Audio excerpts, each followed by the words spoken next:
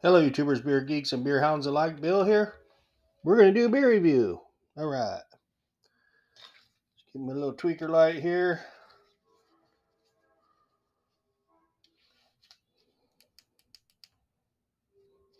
Last train home. All right.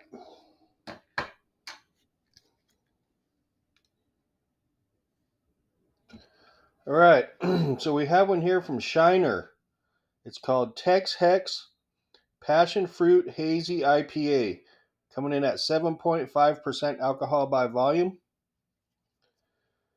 It's a IPA brewed with cactus water, hibiscus, and passion fruit with natural flavors added. They're from Shiner, Texas.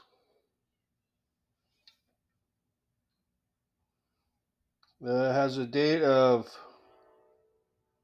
best by date of 8 21 24 okay?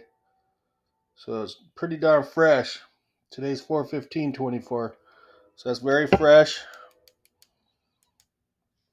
Um i picked up a six pack of this at um total wine and more for like i think it was like 12 bucks out the door.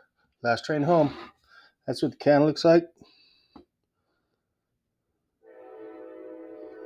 Okay. So I've never had it before until like I picked it up, but I had some yesterday. But I'll go ahead and review this now and try to give a description of this puppy. Okay.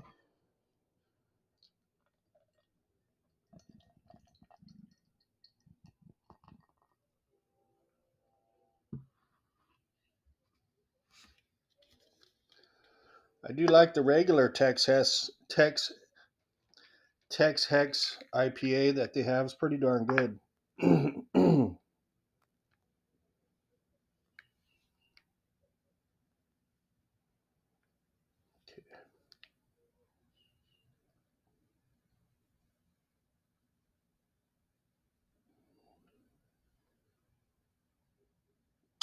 All right, there we go.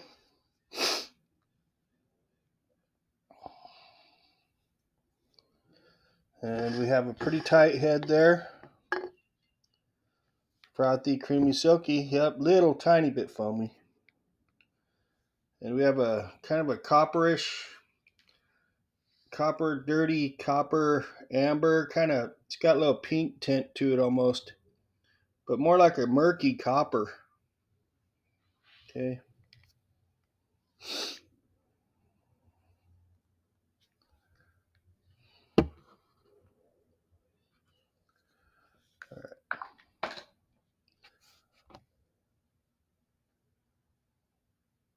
Looks dark in the camera, but pretty nice tight head. Darker looking beer. Let's check out the aroma. Right up front, you're getting the, the hibiscus and passion fruit like big time. And even some of that cactus type water.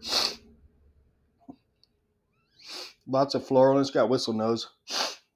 Floralness. Passion fruit.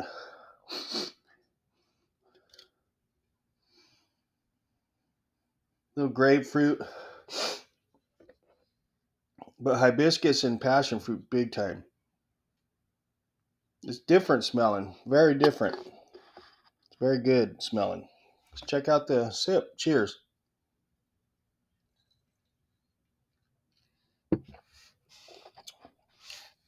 Okay.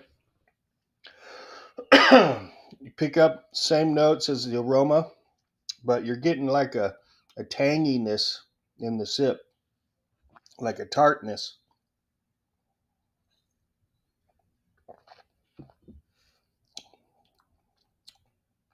But it's a yummy kind of, it's the passion fruit that you're picking up. That kind of tartness that passion fruit has. It's very good beer. It's very different.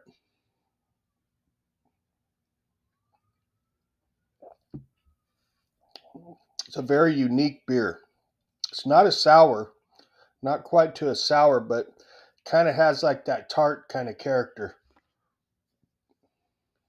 No booziness or nothing like that. Uh, probably a medium mouthfeel. The hibiscus is coming through big time also.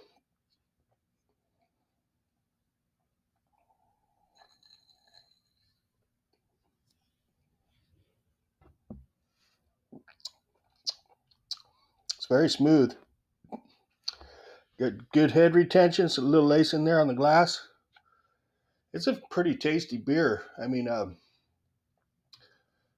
very unique and different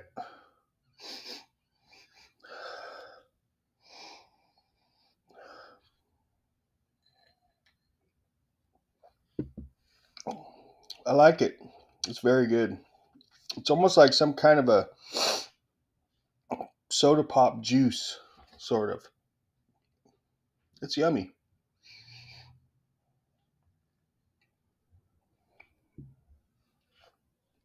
Almost like a almost like a touch of mango also. We'll swirl it one more time. We'll wrap this puppy up. Keep it short and sweet.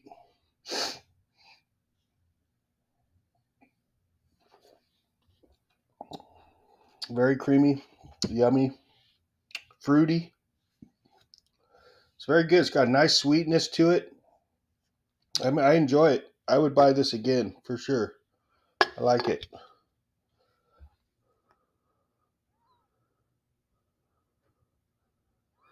So that's pretty much what I got on this puppy. Um, on a scale of one to five stars, two and a half B and C average, I think it's a pretty memorable beer, and I would buy this again. Um, I'm gonna go four four and a half stars. It's I think it's that good.